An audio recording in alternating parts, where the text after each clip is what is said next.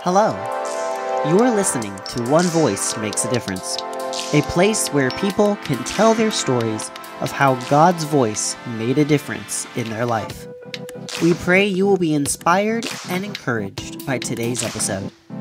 Now, here's your host, Janet Swanson. Hello, everyone, and welcome back to One Voice Makes a Difference. We have a special guest for you today, and I am so excited about this lady, this powerful woman of God. Her name is Janet Boynes. And Janet Boynes founded Janet Boynes Ministries in Maple Grove, Minnesota in 2006. She authored the books called out A Former Lesbian Discover of Freedom, God and Sexuality, and her latest book, God and the LGBT Community. She challenges individuals and the church to reach out with a message of hope and restoration to those who struggle with identity issues. Her life is a proof that the love of God has the power to heal and restore the brokenness in our lives. It's been over 20 years since she was called out of the lesbian lifestyle. Janet is an ordained minister under the Assemblies of God and travels the U.S. and overseas, sharing a message of redemption. Her desire is to bring hope through the power of Jesus Christ. Oh, that's powerful. Thank you, Janet Boynes, for being here with us today. Welcome, welcome, welcome. Thank you for having me. It, it's not even a coincidence that both of our names are Janet. So. I know. Isn't that cool? I love that. it is pretty cool. Well, I have been hearing so much about you. I have listened to you on podcasts. I've been looking at your YouTube channel, and um, I'm so inspired by your story. And I cannot wait just to get your story out there to everyone that's listening, that the whole world can hear what God has done in your life and the transformation that has taken place. And so, first of all, t- tell us a little bit about yourself. Um, how did your past play a role in your decision to become a lesbian in the first place? You know, it, every body has a different story. You know, my story is different from everybody else's story. However, for me, my life was traumatic. And being raised in a family of seven kids with four different fathers and watching the man that raised me, who fathered the three under me, um, he was very abusive with my mother. He He's an alcoholic. And when you're growing up as a child and you're watching a man who was supposed to protect you and protect your mother abuse her you know your life started my life was being shaped by my early experiences mm-hmm. and so with that being said i thought okay my parents are fighting that's the way you handle your problem. So I went to school and started beating up all the kids because I thought, you know, if somebody says something mean to me, or, you know, if things don't work out according to my plan, then I'm mm-hmm. supposed to beat everybody up. And so I was mimicking what I saw at home. I was cussing people out and getting kicked out of school and, you know, getting blamed for everything that, you know, was happening in my home. Everybody just thought I was a bad person. I wasn't a bad person. It's just bad things were starting to happen to me at home. Mm-hmm. And as I was being raised, even though we had four different fathers among the seven kids, I would follow my older sisters down to her dad's house who was still married to my mother, even though they didn't live together. And in this one particular time, I'll never forget it, even though he passed away many in back in 1999. He sent my oldest sister and my youngest sister to the store and he raped me. And that's when I realized that, you know, maybe this isn't something that I want. Maybe I don't want to be in a relationship, you know, with a man. But during that time, I was accused of already being a lesbian because I used to play basketball. I played with the guys. I was just enjoying life as a child. And a lot of times we put post it notes, as I will say, onto children or onto people because they're trying to enjoy life. They're trying to find out who they are. Right. You know, their identity is not in the sport, but they're just growing into, you know, maturity and puberty. And right. a lot of people started accusing me of being a lesbian. And so as time went on, I was going to prove them wrong. So I went to the prom. I was very involved in, you know, having a boyfriend, bringing him over to the house. But Janet, I'll never forget the day when I really started to understand homosexuality, we were preparing for church. And my mom was a no nonsense kind of woman. And there was a knock at the door, and a good friend of hers came to her and said, You know, last night I saw your son, Robert.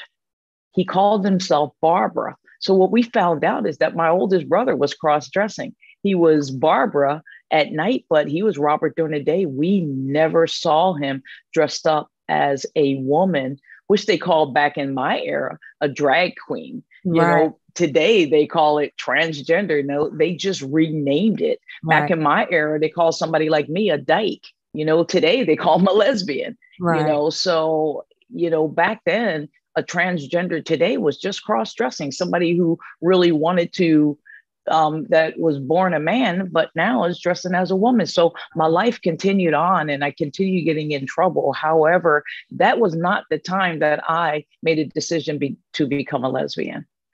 Wow. That's that's amazing. You know, um, in in my life too, I have a cousin that he was a macho man. Like when I say macho, he didn't, he was married, had kids. And then all of a sudden, after 30 years of being married, he leaves his wife and starts doing the same exact thing. And you wonder what in the world is going on. I think somewhere along the line, the enemy labels us and we believe that lie. Don't you think? So did you feel like you we do also about yourself? I I really didn't know who I am. And to be honest with you, I'm 63 years old and I'm still trying to find out who I am. Right. You know, we can get into that later, but my identity was always in trying to prove myself to my mother, trying to live up to her expectations. Either even though my mother wasn't educated, my mother passed away almost two years ago, coming up in February. I was very close to my mother coming down the stretch the last 10, 15 years. But mm-hmm. still, my mother had very high expectations. Even though she was illiterate and she couldn't read and she wasn't educated, she still had high expectations. There's a certain way we had to do things at home. We couldn't do what all the other kids could do. We couldn't talk back. We couldn't share and express our feelings. So, mm-hmm. all that um, anger and frustration, I internalized it and I mm. started getting high. I started smoking cigarettes. I started getting in trouble and getting kicked out of school. That was the way I was starting to medicate my pain and mm. cry for help. But when you know better, you do better. Right. And my mother didn't know any better. She wasn't educated. She didn't understand how to raise children back in the 60s and 70s, you know, because her mother wasn't that educated. So a lot of times, those of us that are kids, we hold our parents responsible mm-hmm. for something that they weren't able to give to us. And we keep looking for that from our family, which I get it because mm-hmm. all the way up until my mother's death, Janet, I still was looking for um, her to affirm me, for her to reach out and, and love me, even though I know she loved me. She mm-hmm. wasn't able to give me something that she never got. And that was difficult for me. Wow, that's powerful. So you, you found yourself going to the prom and then you found yourself at the altar about to get married. Tell us a little bit about that. Isn't that crazy? You know, in 1985, you know, I was in Minneapolis, Minnesota. I lived in Norristown, Pennsylvania, right outside of Philadelphia. And in what year I graduate in 76 and 1979. I moved to Minneapolis, Minnesota with my eighth grade English teacher and her husband. She literally took me under her wing, the worst kid in the school. She was determined to, to help me and make something of me. And she was really the only mom figure I really had that I really knew I could go to somebody and depend on them. And so I went on to college and then I left Cheyney University and went on to Minneapolis, Minnesota and I was at Concordia College, was like a Christian Lutheran school, and some girl came up to me. It's I wish I could find her today to show her what my life is like, but uh, she invited me to church, and I said yes, and I went to church and. In 1980, 81, I gave my heart to the Lord and I met this awesome guy. And I've always had something you know, in my heart that I would never never marry a black man. And the mm-hmm. reason why I said that at that time is because I associated Black men with abuse and rape because that's all I knew. Right. I didn't think Caucasian men or Indian men or Hispanic men did that type of thing. I just knew only Black men abuse wow. and rape people. So I didn't want to be involved with a a person of of my color. So I met this wonderful guy and we he courted me for three years and and asked me to marry him. And it's so funny because I went home, you know, sharing with my family about this awesome guy and the newfound faith that I had. And my family was ecstatic. They were so excited for me, mm. you know. And during that time that I was home, my brother, who was living a homosexual life, you know, told me that he had the virus. And I didn't think any more about it. I just went on about my business. I knew he was going to be okay. He said he wasn't going to die. So I went back to Minneapolis, Minnesota, wow. and started spending time with this woman at my job. And I never forget when my fiance said to me, You know, Janet, don't you think you're spending too much time with that girl? And I looked at him and thought, No, you know, just a friendship. But I didn't know that she was, I was a target for her that mm-hmm. she was interested in me. And I wind up spending, you know, some time at her home. And one night I spent the night and we got into a sexual relationship. Wow. Three months before I was supposed to walk down the aisle. Wow. So, how did you walk away from your fiance? You know, the next day, I never want to ever experience what I felt. I could literally feel the Holy Spirit just leave me. I had a very close walk with the Lord mm-hmm. back in 1985. I really felt like I knew him. And all of a sudden, it felt like the Holy Spirit disappeared. It was gone. So mm-hmm. I went to my pastor, and he was under the Assemblies of God church at that time. And I told him I had a sexual relationship with this woman last night. I mm-hmm. was panicking, and he told me three things. And only if Pastor Tedeschi, he knows now back then that he told me the right things call off your wedding, tell your fiance and get some help. I told my fiance and I called off my wedding and I walked away from the Lord during that time to embark on a new journey in a homosexual relationship with this woman that I fell into a sexual relationship with. So, how long did you stay in that lifestyle and what brought you out of it? I lived that lifestyle. It is it's amazing when the Bible says that, you know, there's a hundred sheep and one go astray. Mm-hmm. God never left me. I could always sense the presence of God. He would always put things in my path to show me that He was near. And I do did my best to try to ignore Him. And I used to shake my finger at God and say, "Stop it!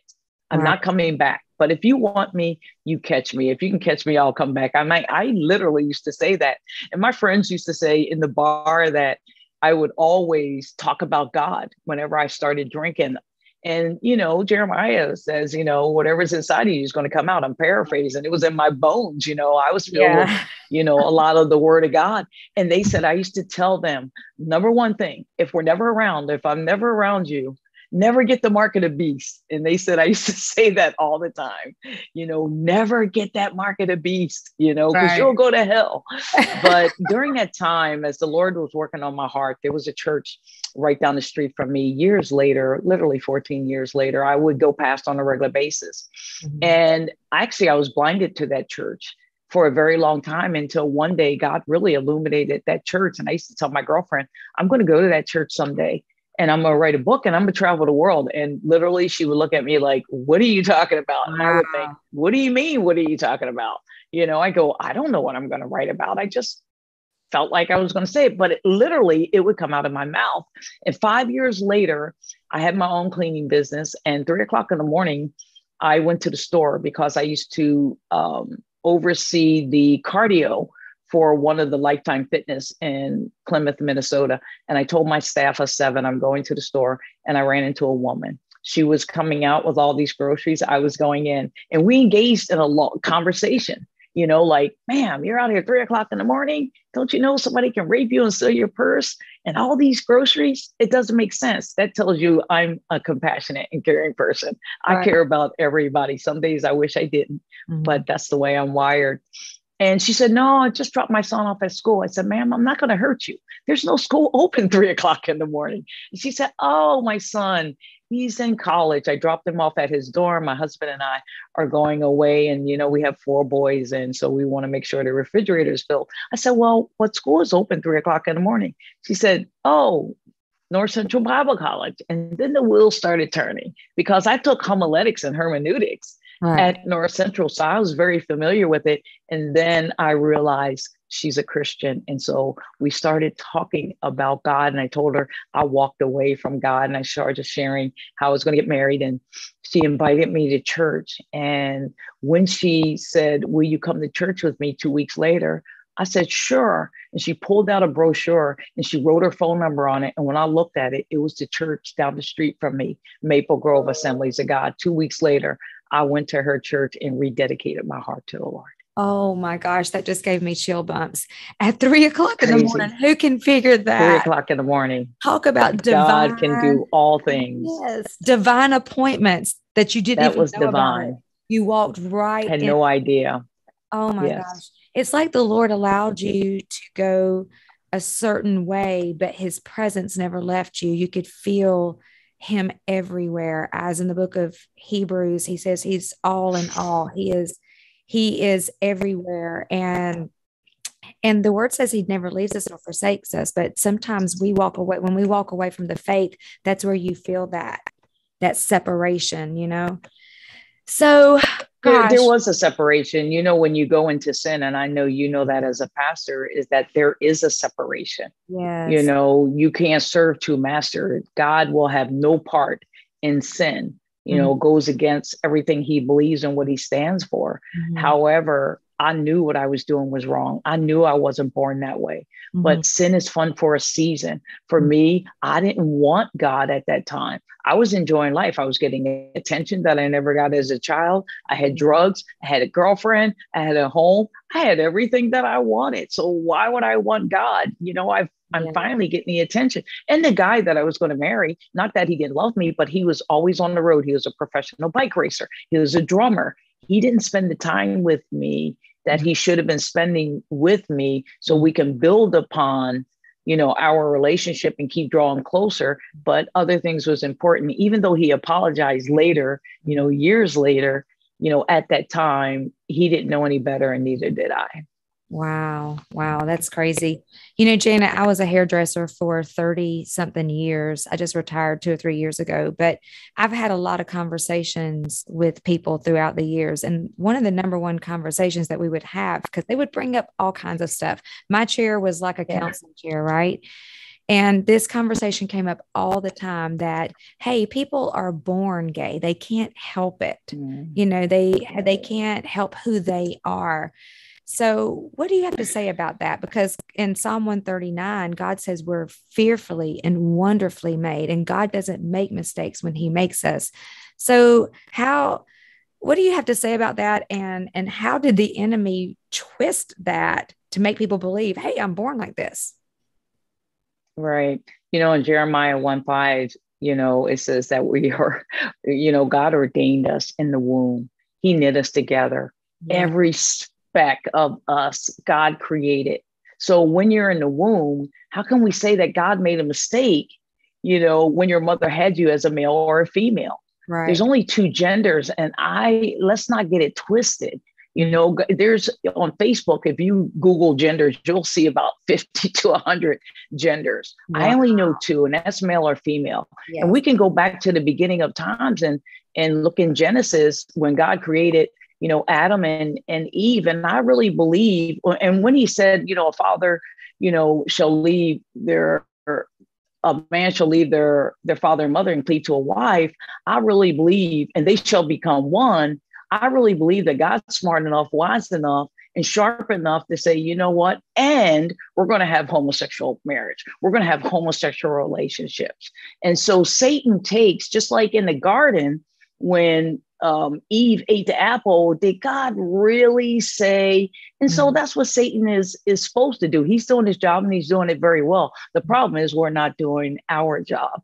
Mm-hmm. And what happens, just like the rainbow, God created the rainbow for a reason. He will never, you know, end the world by water again. We know why the rainbow was put there, but the enemy took the rainbow and twisted it. You right. know, so now a lot of Christians won't even you know, show the rainbow or wear rainbow colors because it's associated and affiliated with homosexuality. Well, mm-hmm. I'm going to wear rainbow and talk about the rainbow until the cows come home because that's a counterfeit Amen. what they're doing. Yeah. Satan will do everything as a counterfeit. He doesn't like God. He has no redemption. He knows where he headed. So why not take a lot of people with them? You know, mm. we all were born of sin. Every last one of us. Right. We have an opportunity as we get older to determine, you know, if we're going to live for Christ or not. We all will have an opportunity to to be introduced to Jesus, right. our Lord, God, and Savior. You know, and so you're either going to choose life or death, or blessings or curses. Right. And we get to choose life, but in the Word of God, which is our manual, people can be deceived because they're listening more to the world's view than to God's view. Right. We were talking earlier about families who, you know, um, their child is living a homosexual life and and children are giving their parents an ultimatum. Look mom dad you either support me you love my my girlfriend or my boyfriend or my same-sex partner or i'm going to go away and you're not going to hear from me again. You're not going to hear from your grandkids. Well wait a minute.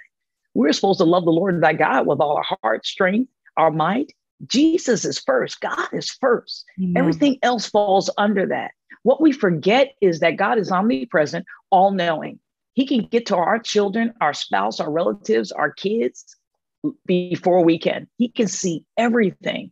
Mm-hmm. And what we're not doing is putting our faith and our trust in God. What we're trying to do is play God Junior. We're trying to save our kids, and we don't even have anything close to being able to save our kids. The only one who could save them is Jesus. The other point I want to make very clear to parents out there that are listening is that God loves your children far more than you could ever love them. Mm. And if you give him the opportunity and trust him, I believe your child will come back because we need to let them hit their bottom. Now, if a child commits suicide or or or say, you know, I'm going to commit suicide, you know what I would do as a parent, even though I'm not a parent and we have dealt with this many times? I would call the authorities and have them put in a place if they're 18 and under where they're going to get the best help that they can. They might not like it and they might go kicking and screaming, but it's still your responsibility to get them the help that they need. When they become an adult, you know, things are differently. They are out there on their own and they get to make decisions. For me, I went through a lot of traumatic experiences. I didn't want to live either. Matter of fact, going through the pandemic, you know, a year ago, my mother died. I didn't want to live. I mm. literally wanted to commit suicide. I felt like I was all by myself. Mm. Even though I had no desire to do that, I felt like nobody loved me, nobody cared about me. And if I died tomorrow, they probably would care less. But mm. I knew that was a lie from the pit of hell. Yeah. And I took time to now reach out for help mm. because I really went through a dark place. And that's what we really need to do. But parents are trying to handle this situation all by themselves. They're afraid to trust God. And Satan has them just where he wants them is to lean on their own understanding. Mm. And now their child, their child has pulled them into a life that contradicts the word of God. You know, I believe that when we experience experience um, trauma or even death, it's it's like we're so vulnerable in those moments that the enemy comes in and really attacks us and tries to twist God's word and and put the blame on something somewhere somehow. And you know what I've seen? I've seen most homosexuals now. They've they um, are depressed. They've had a lot of suicide thoughts, suicidal thoughts or they attempt suicide and they're um, they're just they're unsatisfied but yet they still are you know leaning into this lifestyle. Why is that? Why do you think or they become alcoholics they become addicted to drugs? What is that agenda? Janet i did the same thing. They're not satisfied. You know the bible talks about you drink from his cup you'll never thirst yeah. And when I was in the world, and many of those that are out there living a life of homosexuality, we continuously search to fill emptiness, fill a void. I'm not sure, I'm sure you know this, but there are so many um, Christians that walked away from their faith. There's mm-hmm. more Christians walking their faith going into the homosexual life than there are those that are coming out.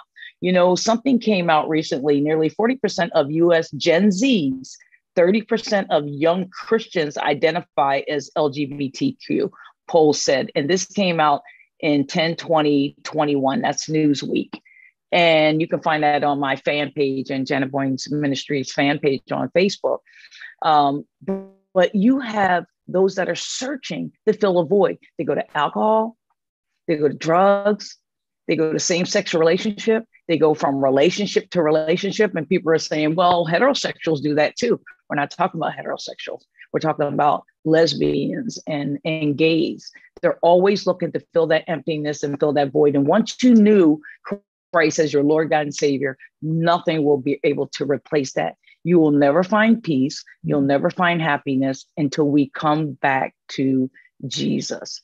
He is the center of our universe, and Satan is doing what he does best. He's a liar, he's a thief, and he's a counterfeit. And everybody are starting to drink the water because they're afraid to go up against the gay community. Mm-hmm. I'm not trying to be arrogant in any way, but as long as I'm on planet Earth, I will fight to get our children back to mm. where they belong, and that's in the hands of God. That's their safest place. And let me say this too.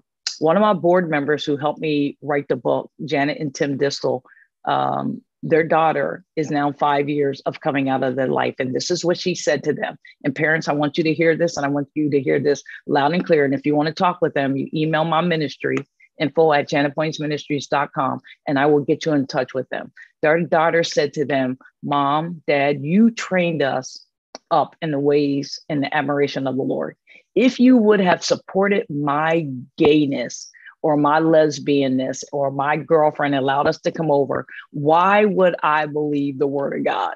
You wow. went against everything that you taught us based on biblical principles. So if you're not going to believe it, why should we believe it? Mm. And that was something that really stuck with me is that parents, if you stay true to the word of God and you let your children know that you love them, you will always love them. As for me and my house, I'm going to serve the Lord, you are always welcome in this house, but you're not welcome in this house with your same sex partner. Let me tell you why is because you will not allow pornography in your home. You will not allow your heterosexual child to sleep with their partner if they're not married in your home. Mm-hmm. You will not allow drugs and alcohol in your home. Right. Homosexuality is a sin, but you allow two same sex partners in your home when it goes against biblical principles. I have a problem with that. Right. It's like the parent needs to create those boundaries. And I think what happens a go. lot of time, they're fearful so they're like, oh, I, I would rather have my child with me and embrace their lifestyle rather than trust God and the Holy Spirit to be powerful in your prayers. Like when we pray for them, it changes things. Prayer changes things, and believing that God will do what He said we, He would do and that He would answer our prayers. So, as a parent, I think sometimes, like you said, we want to be Holy Spirit Junior and try to change them them ourselves or just embrace the the lifestyle and let them live whatever life they want out of fear because we don't want to lose them. So uh, i'm so glad you gave us that advice and i hope that really helps someone right now because i really feel like there's people out there that don't know how to uh, connect with their children anymore because anything goes now right? Yeah. And even yeah in my book go ahead janet Oh, go ahead. You can go ahead and tell me what you're going to say. Oh, in my book, um, my newest book, God in the LGBT community, um, we talk about a lot of those things. The book before that, God and Sexuality, they're the same books, except for the newest book has a study guide onto it. We changed the title, the publisher, and they um, changed the cover. So they're the same book, However, we talk about if your child is going to have a civil union. I want to speak to the parents out there. There's many parents whose child is having a civil union, which the world calls marriage. I will never call it a marriage because the Bible says marriage is between a man and a woman. I know the gay community don't like when we call it a civil union. I know they want to be accepted. I know they want to be loved. And I love them because I have a lot of gays and lesbian contact me and always encourage me to keep doing what I'm doing because one day they're going to call on me and ask for help to come out of this.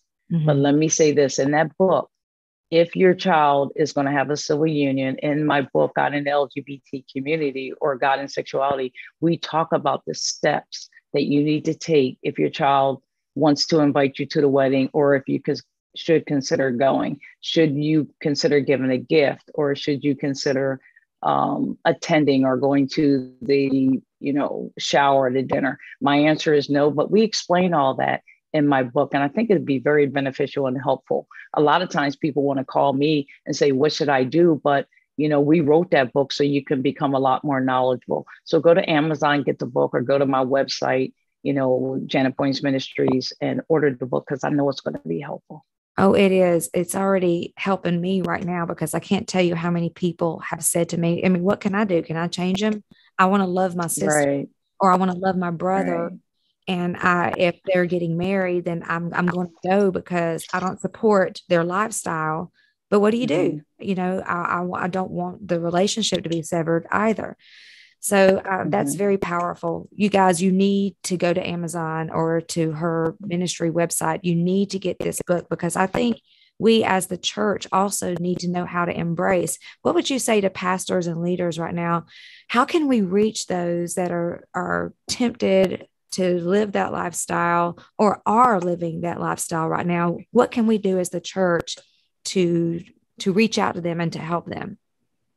Mm-hmm. You know, I think you said something powerful is that, you know, we want to love them. And the gay community feels as though if we don't support their worldview, if we don't go into a bar with them, if we don't allow their same sex partner to come over our house, if we don't go to their parties, we don't love them. Right. But that's not love. You know, love is being honest and truthful with people. And I believe in our attempt to be honest and truthful and our delivery on how we deliver that message to them, I think you know, the love of God will draw one to repentance. When we're talking to pastors and ministry leaders, which I get an opportunity to minister behind the scenes a lot of time to a lot of the staff, is that they're looking for ways to reach the gay community. I know this is going to sound different, but why do we feel like we need to go out there and reach them?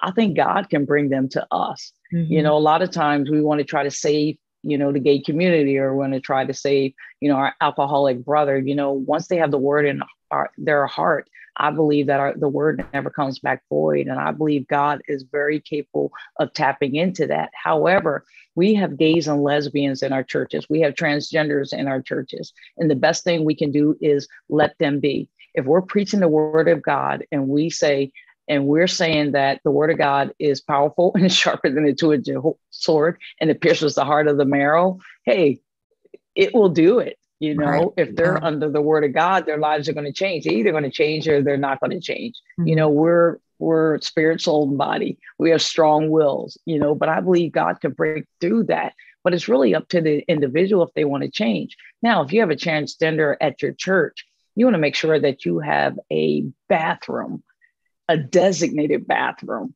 you know, apart from women's and male bathroom, because a lot of times men that come in that are dressed like women or girls that are dressed like men, they feel as though that they can go into that bathroom, even though biologically they weren't born, you know, into a man or born a woman. You got to make sure there's another bathroom designated for them because a lot of times they will creep into the bathroom when nobody is looking. And now you have a young child who mom allowed to go into the bathroom and they see this guy who didn't have gender reassignment surgery and he's standing up going to the bathroom and she's trying to figure out, well, he looks like a woman. What is going on here? And that brings confusion to our child. The other thing I think is important if you see somebody that is being affectionate, that's a gay or a lesbian in the church, you know, don't address them in front of everybody. I think the best thing to do is call a meeting. Never do the meeting by yourself, mm-hmm. you know, because it's going to be your word against their word, but have a meeting.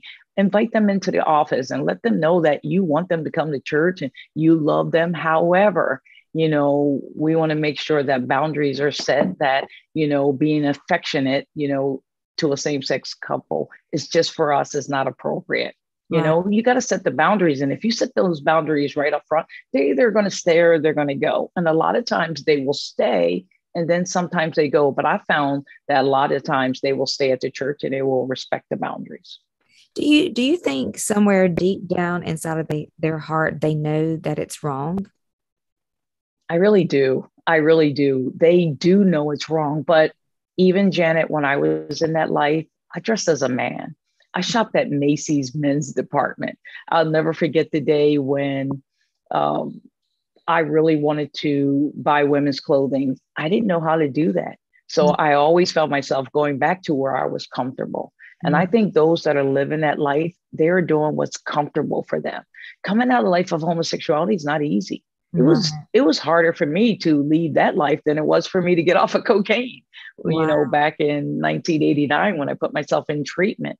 Wow. And it's it's just something like a draw that draws you back to that because you know when you have sex with somebody you become one with them you mm-hmm. know, I haven't been in a heterosexual relationship since I came out of that life in 1998. I'm mm-hmm. still learning how to have a relationship. I would like to, you know, get married someday. And I don't think I'll be having kids at this time in my life at 63, but for some reason, God still has me single. I respect that and looking forward to the day that I meet that right one. But I am now comfortable in being feminine. I'm comfortable with being a female because it was something that I worked towards for the last 20 years. But if you haven't done that, you know, you're comfortable in your own skin, just like you'll find men that um, still dress as a woman or women that still dress as a man. Sometimes you'll see them in church and women will have wallets in their back pocket. They don't want to carry a purse, but that doesn't mean they're not Christians. That doesn't mean that you know they don't love god that doesn't mean they're not reading the bible sometimes their outer appearance does not match what's going on inside mm. they are born again spirit filled they're not having sex anymore just their outer appearance don't look the way we think it should wow. based on how they were born and let me say this don't judge a book by its cover mm-hmm. i know a lot of men and women who no longer live a life of homosexuality mm. men that still look like a women, men that still have breasts. I want to start a foundation where I could help people that come to my ministry and say, Will you help me? I have breasts. I'm no longer, you know, out there in the world. I'm not having sex. I'm serving God, but I want to feel like a man again, or women who would like to have breasts added who had them removed. I want to feel like a woman again. You know, wow. this is where we need to help them yeah. so they don't feel like awkward. You, right. you know what I mean? So or like I think no we have a lot of work to do. There's no hope, but there is hope through the yes. power of Jesus Christ. Because I think if you've had surgery to change it and then God changes your heart, the enemy, I could see him coming in saying, Hey, there's no hope. None of this can change. You've already changed it. So don't even think about it. But there is yeah. hope.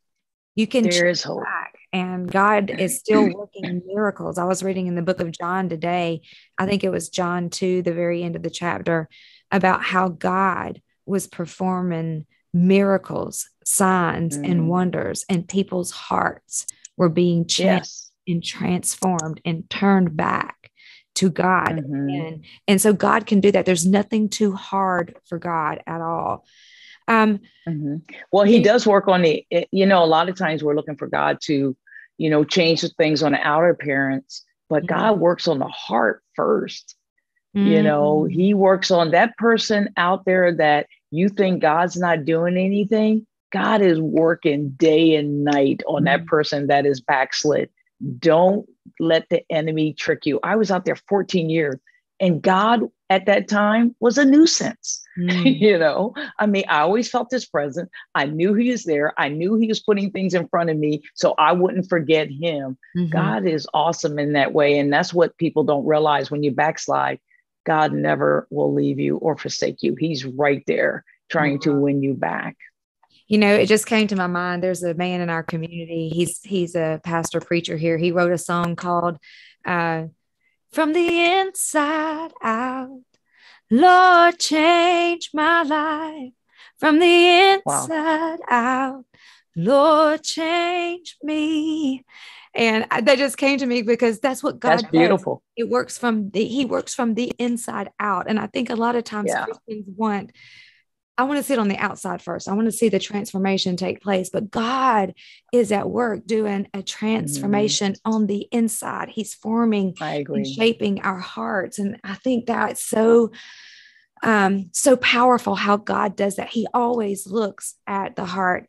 You know, Janet, I think there may be someone right now that is struggling with the homosexual lifestyle they don't know what to do they're they're being pulled by the world they're being pulled by their mm-hmm. friends mm-hmm. and they're actually thinking about going into that lifestyle or maybe they've already slipped into it a little bit what would you have to say to them right now Well, you know, it's funny that you asked that. There's a youth pastor that contacted me yesterday out of Florida asking that same question. We're going to start talking about homosexuality in our church. We have so many Gen Zs and millennials that are struggling.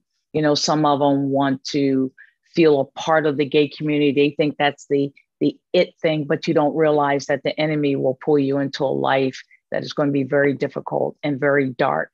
A lot of people think is accepting. You know what? There's only five percent of you know the population that is living a gay and lesbian life, and behind the scenes, you just don't know. They're miserable. Mm-hmm. They want out, and yeah. sometimes it's hard to leave something like drugs when you enter into it don't listen to the lie you are as beautiful as god made you from the from the time you came out of your mother's womb mm-hmm. but let me help you let us help you at janet boynes ministries we will love you we will try to get you the best help that we can even if you just want to talk about it you're not ready let us come alongside of you there's an outlet just go to our website you know, mm-hmm. Janet Boynes Ministries, or email us info at janetboynesministries.com. And we want to be there for you, parents. We have parents who can talk with you. Our book will help you. You don't have to cave to the, the enemy's tactic and his lies. God loves your child far more than you do. And he's out there working behind the scenes. Trust that. We will do whatever we can to help you. So contact us and you know give us an opportunity to do that amen you guys i'm telling you you're listening today i need you to share this podcast if you know this is going to help somebody let's share this podcast let's get this word out and um, maybe you're listening right now and you know someone, or maybe you yourself, you've been struggling with this, you don't know what to do. Reach out for help. And, and God is with you. And I know that you want him, or you wouldn't be listening to this even right now. I know that you're thinking about coming back. And and Janet, I want to ask you this this one last question because we got to wrap it up in just a few minutes. But maybe this person is thinking about, okay, I've been pulled, I've been living this lifestyle, but I'm ready to come out, but I don't know how. How how do I become transformed now? And and we've already said that the transformation has to take place first on the inside and then the mm-hmm. outside catches up later. Right. But what would be the first step? Because like you said, it's really hard. And I've talked with other people too. It's really, really hard to uh, switch switch it off like that and come you know right. break up with my friends break up with all these people right. that i've been hanging out with how do i do that mm-hmm. you know for me you know that that is a really good question janet and that's one of the questions we get very often but whenever somebody wants to lead the life of homosexuality i think that it has to be designed based on your needs and what's important to you. But one thing I want to make very clear that has to be done is that when you walk away from one community, you have to build another community. Mm. And I mm. think that's really important. And that's what the church doesn't realize is that we want to get you involved. We want to get you volunteering. You know, we want to get a mentor you know, that's going to contact you and spend time with you. We want to find a family that you can go visit maybe on Sunday afternoons and, and hang out with them and their kids, you know, so somebody can just give you the love and attention that I really believe that you need. So I think that's the first step. Is that what happened to you, the lady in the the parking lot? Did she take you under her wing? You know, we didn't get to this part, but in my book, um, called out, um, that came out in 2009.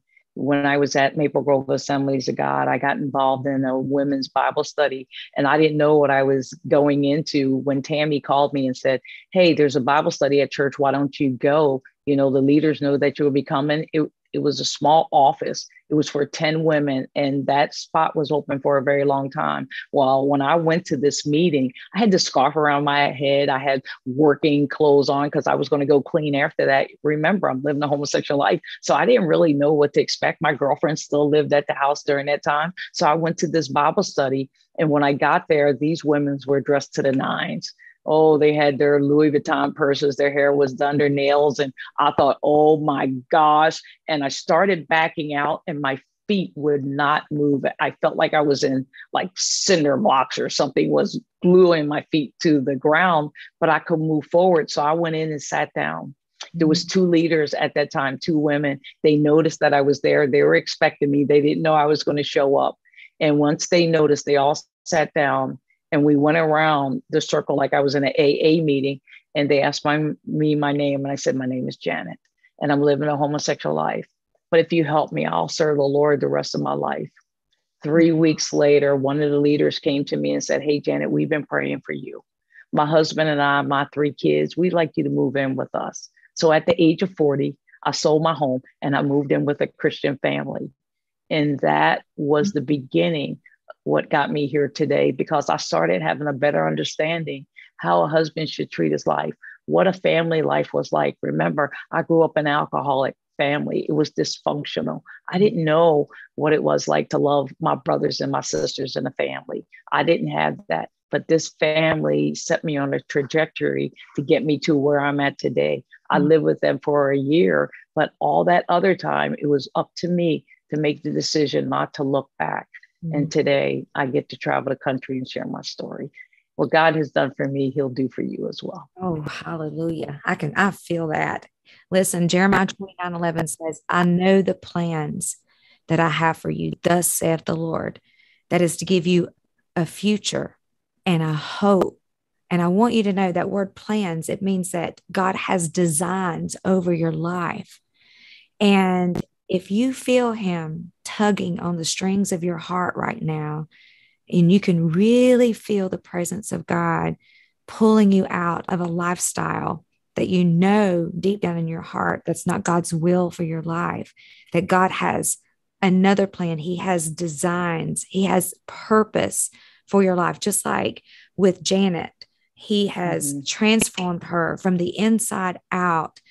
And now he has given you, the Lord has given you a platform on the very thing that the enemy tried to destroy you with. That's what our God mm-hmm. does.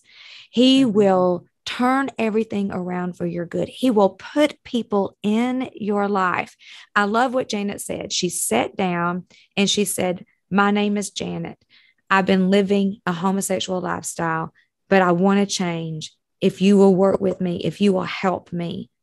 And what she did, she got all of that darkness out of her by revealing the pain, revealing the struggle, and bringing it to the light. And that's where the deliverance came and her freedom came. And then God began to put people in her life. And I want you to know He'll do the same thing for you too. This has been so powerful, um, Janet. Thank you so much for joining Thank us. You. Again, one more time, can you just give um, our listeners? Your um, information on how they can reach out to you. Maybe they want to they want you to be their mentor or your your ministry. They want to contact you and they need to get these books. How can they get them again? Yes, you can go to my website, www.janetboynes, B-O-Y-N-E-S, B O Y N E S, ministries.com. I would love to be everybody's mentors. Believe me, my door has been being knocked down, you know, but I will do and make sure my team will do everything we can to assist and help you. So reach out to us because, you know, God loves you. And I'm just tired of the enemy lying to people that, you know, God doesn't love you or you're not capable. Look, I'm the least likely person to be doing what I'm doing. There's so many people out there smarter than me, but God chose me. The Bible says he'll take the foolish things of the world to confound the wise. Mm. And God will choose you just like he chose me. You're mm. not a misfit. You're very special. Thank you so much. Do you mind praying over that one person? Maybe there's a, a teenage girl or there's a man you have really ministered to them. Can you just pray over them right now? Yeah. Father, we just thank you for this time that we have and those that are out there listening to Janet and I have this conversation. Lord, I know you're working on their heart. We just pray that one, their heart is drawn to you, that they'll find a good Bible based church that's near their house. Lord, that they could be able to go in and hopefully get the help that they need. But most importantly, Lord, that they will reach out to somebody who will love them and do everything that they can to assist them. Lord, we thank you for the, the hearts that are open, the minds um, that are going to be changed from going out to that life. And Lord, we believe transformation is going to happen through the power of Jesus Christ. In your name, amen. Amen. Amen. Thank you so much, Janet. I really appreciate you, you Janet. Thank you guys for listening to One Voice Makes a Difference podcast. Like I said, please share this, get this out. And um, let the word of God change somebody by the word of Janet's testimony and all of our testimonies. We're changing and making a difference in people's lives, one voice at a time. So thank you for joining us. I'll see you next week. Bye. Thank you for listening to One Voice Makes a Difference. It is our prayer that through this episode, God has given you a new hope and inspiration to come out of darkness, break the silence, and tell somebody so His light and healing power may begin working in you. If you would like to connect with Janet, visit her website at janetswanson.org. Finally, if you are currently in crisis, please call the 24 7 crisis hotline at 1 800 273 8255 or visit suicidepreventionlifeline.org. Don't hesitate. Your voice and your life matters.